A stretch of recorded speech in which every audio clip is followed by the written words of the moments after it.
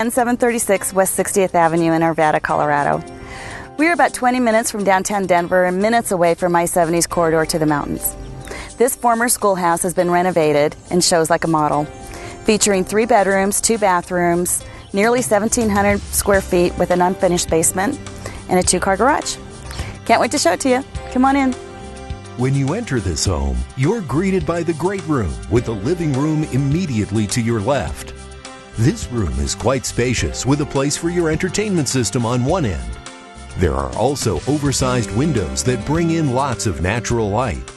And you'll find new hardwood floors here in the living room as well. Adjoining the living room is your brand new kitchen with slab granite countertops throughout. Notice all the storage in the cherry cabinets in this kitchen. And there are stainless steel appliances that include a four burner electric range, built in microwave, side by side refrigerator with ice maker, and dishwasher next to the sink that looks out to the back. And next to the kitchen is the dining area. It's large enough to easily entertain six to eight guests, and it features a contemporary light above the table. There's a door just past the dining area that leads out to the backyard with its views of the mountains. In this backyard, you'll find a large patio area, which is great for entertaining. And the backyard is fully fenced and level. Back inside and just past the dining room, you find the conveniently located laundry room, which also has a utility sink. At the far end of the hallway, you come to the master bedroom suite. This master bedroom is spacious and it has an oversized walk in closet.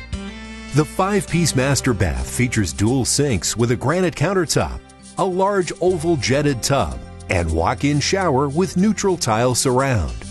There are two other bedrooms on this level. Each of them is also quite large. And there's another full bath on this level to service these bedrooms. Finally, let's head down to the unfinished lower level you'll notice that there's enough space that you could add another bedroom, rec room, home theater, or workout area.